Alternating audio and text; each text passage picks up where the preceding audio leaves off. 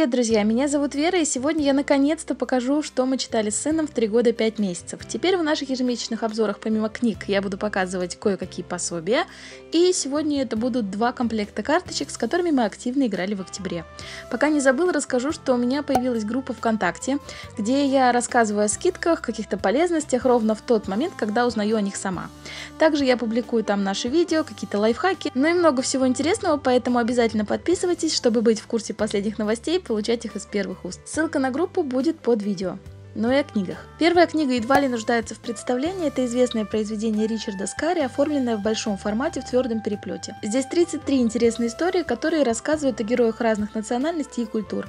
Истории короткие, буквально на разворот 2, текста здесь мало, в основном динамичные иллюстрации. И сразу хочу сказать, что явных национальных особенностей эти рассказы не отражают. Да, здесь можно увидеть конкретные характерные черты той или иной страны, достопримечательности того или иного города, но автор на них не акцентирует фиксирует. Где-то даже совершенно случайно находишь какую-то связь истории с заявленной страной, но на самом деле темы интереснее. Сами истории чаще смешные, абсурдные, невероятные, но при этом очень добрые и милые. И на мой взгляд очень чувствуется, что это перевод, что автор не русский человек, текст немного чопорный, не гладкий, отрывистый, но опять же это скорее особенность книг Ричарда Скари, их необычность, их изюминка. Ребенок в неполные три с половиной года над книгой хохочет, у него есть любимые истории, он обожает рассматривать и комментировать иллюстрации, книга нравится, поэтому я смело могу ее рекомендовать. Особенно, если вашему малышу интересны путешествия, страны, города. И, кстати, наше чтение всегда начинается с карты, она представлена на форзаце. Тёма машинкой приезжает в интересную ему сегодня страну, о которой мы в дальнейшем читаем.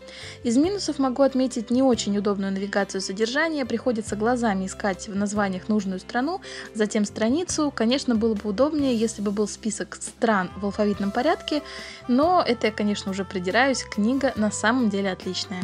Следующая книга про транспорт от Мифа, и знаете, мои впечатления о книге до сих пор неоднозначные. С одной стороны, это качественная информативная книга на тему транспорта, с другой, я не совсем поняла, на какой возраст она рассчитана. Опираясь на характер подачи, я бы предложила ее детям 4-7 лет, не старше. С другой стороны, здесь очень много цифр, стран, имен, национальностей, исторических фактов, что понятно уже детям постарше. Больше половины книги занимают рассказы об истории транспорта. Современным машинам уделено крайне скромное количество страниц, а про машины будут будущего и вовсе пара строк.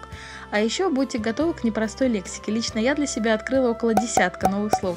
Резюмируя, могу сказать, что книга интересная, но я настоятельно советую не вестись на ее красочность и приобретать ближе к начальной школе, ну или к тому возрасту, когда ребенок уже умеет самостоятельно читать, маленькие текстовые блоки и множество иллюстраций очень к этому располагают.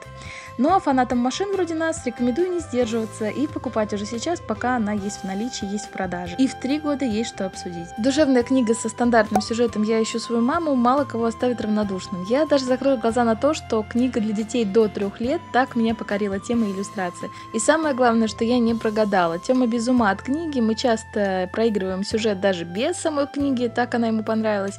Читаем разными голосами, имитируем шорохи, шелесты, поэтому чтение всегда получается захватывающим даже для нашего папы. Одна из самых любимых книг в этом месяце, несмотря на то, что она как минимум четвертая в нашей библиотеке с подобным сюжетом. Суперспасатель это книга полная заданий, головоломок, лабиринтов, поделок, даже наклеек. Так мы ее любили, что она вот у нас даже по швам затрещала. Заявлено, что книга для детей от 5 лет, но трехлетка вполне справляется с большинством заданий. Они здесь, кстати, интересные, не банальные, и у нас есть почти все книги из этой серии, но пока прониклись только вот этой. Однако могу сказать, что вся серия достойная, но обязательно смотрите на возраст, поскольку какие-то книги идут для деток от 3 лет, и задания там значительно проще. Хорошая новость, сейчас эти книги здорово подешевели. Одна из немногих книг, которую я ну очень ждала, сначала ее выхода, позже ее доставки, но сказать, что я в восторге, к сожалению, не могу. Возможно, я ее просто не поняла, или, скорее всего, она рассчитана на детей более старшего возраста, но заснуть хотелось мне, а не ребенку, причем от скуки. Она написана так монотонно, так растянуто и так длинно, что в процессе чтения из-за этой монотонности я теряла сюжетную линию. Тем не менее, я решила показать ее видео, так как мы действительно часто ее читали. Сначала пытались все же внедрить ее в наш ежедневный книжный ритуал, потом мы читали в сокращенном варианте или просто рассматривали картинки, так как они здесь действительно чудесные. Но в конечном итоге от книги отказались, и я думаю, что в ближайшее время к ней не вернемся. Как бы ни старалась я читать ее и разными голосами, и разными интонациями, и в разном темпе, не пошла. Ни как интересная история, ни как книга для засыпания. Ну а теперь покажу карточки. В последнее время мы, как в раннем детстве, часто с ними играем. Комплект «Культурное наследие» включает в себя изображения главных исторических и архитектурных памятников России. И нам очень повезло, что некоторые из них мы имели честь неоднократно наблюдать воочию. Это и Выборгский замок, и Царское село, и Зимний дворец, и Петергоф, и Исаакиевский собор. Здесь 24 карточки, и на обороте каждой тезисно представлены факты о строении и дано какое-то творческое задание для малыша. Также есть отдельная карточка для родителей. На ней расшифрованы условные обозначения и даны какие-то идеи, рекомендации для игр конкретно с этим набором. Качество, как обычно это бывает умницы, на высоте, плотный картон, четкие отличные изображения. Очень советую детям и взрослым, так как играя с ребенком, я тоже здорово прокачиваю свою эрудицию.